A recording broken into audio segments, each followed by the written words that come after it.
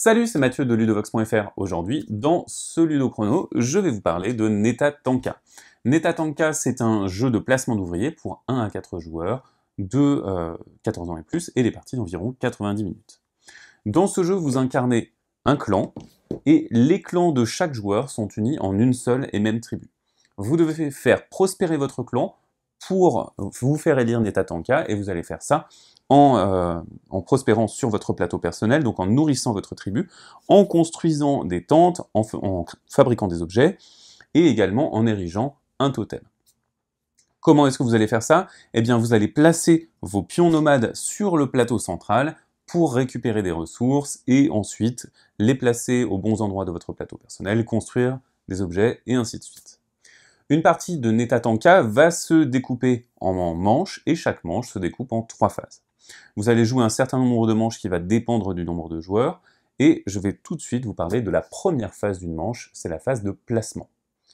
Pendant cette phase, les joueurs, en partant du premier joueur, vont placer à leur tour un pion sur un emplacement qui est disponible. Une fois que tous les joueurs auront placé leur euh, pion sur des emplacements disponibles, eh bien, on va tout simplement pouvoir passer euh, à la deuxième phase, la phase de résolution. Lors de cette deuxième phase, chaque joueur, en partant du premier joueur, va résoudre toutes ses actions d'un coup dans l'ordre qu'il le souhaite. Donc pourquoi l'ordre est important? C'est parce que les actions sont liées les unes aux autres et vous avez un certain chaînage. Par exemple, ici, cette action, elle me permet de récupérer de la nourriture en échange de bois. Donc je la récupère depuis le plateau, c'est un concept assez important dans Netatanka. Vous récupérez les ressources en majeure partie depuis le plateau central, il faudra donc alimenter ce plateau avant de penser à récupérer les ressources. Et ici, pour fumer la, viande, eh bien j'ai besoin de bois, mais je n'en ai pas. Comment est-ce que je vais faire? Eh bien, je vais donc coucher, incliner euh, ce nomade pour euh, indiquer qu'il a agi, et je vais récupérer deux bois depuis la réserve du plateau. Je peux donc ensuite effectuer cette action qui me demande de défausser un bois, je le place dans la réserve générale, et je récupère ici deux viandes. Pourquoi est-ce qu'on fait ça? Eh bien, on va le faire, on va récupérer des ressources pour pouvoir effectuer des actions, comme par exemple ici l'action de nourriture qui va permettre de nourrir notre clan, l'action euh, de euh, tente qui va permettre de construire des logements pour les membres de notre tribu, ou l'action de totem qui va permettre euh, d'élever son totem, de placer des ressources sur notre totem, ce qui va permettre de passer premier ou en tout cas de monter sur cette échelle. Vous avez également la possibilité de fabriquer des objets qui vous donnent des points de victoire. Il y a certaines actions un petit peu particulières qui vont euh, vous donner de la générosité. Alors pourquoi? Par exemple, ici, je fais cette action qui est tout simplement de capturer un bison. Lorsque je capture un bison, je ne gagne absolument rien à le faire, cela va permettre aux autres membres de la tribu d'aller l'écarrir et le tanner ici mais en échange, je vais récupérer un point de générosité qui va me servir de point de victoire en fin de partie.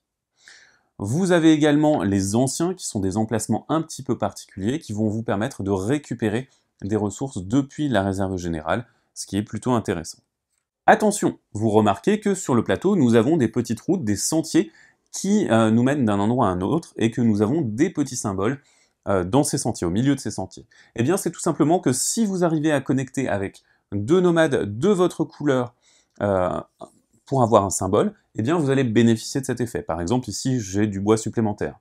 Ça va rajouter un degré de combo pour vous, mais également un degré d'interaction supplémentaire. Vous allez pouvoir bloquer vos adversaires. Par exemple, ici, le joueur orange a bien bloqué le joueur vert qui pouvait vouloir profiter de ces deux effets. Une fois que les joueurs ont tous résolu les actions de tous leurs nomades, on va passer à la phase suivante, la phase de nettoyage. Pendant la phase de nettoyage, on va changer de tuile commerce, on va avancer le compteur de manches, on va vérifier que la zone d'écarissage n'est pas trop pleine, on va retirer tous les nomades, sauf les nomades qui sont placés sur des emplacements un peu particuliers qui vont mener en expédition et qui obligeront certains joueurs à faire des actions bénéfiques pour le reste de la tribu ensuite. Une fois que cette phase est complétée, vous allez tout simplement passer à la manche suivante et ainsi de suite jusqu'à ce que la partie se termine. Lorsque la partie est terminée, vous allez totaliser les scores, donc vous allez euh, tout simplement sortir le calepin de score et additionner les différents scores. Vous avez euh, ici donc les différents moyens de marquer des points, les tentes que vous allez construire chez vous, euh, la hauteur du totem, le podium que vous aurez eu, les objets que vous aurez créés, la nourriture que vous aurez placée sur votre plateau de clan, les objectifs potentiels que vous aurez réalisés, et enfin les points de générosité qui vous restent. Vous additionnez tout ça, ça vous fait votre score total, le plus haut l'emportera.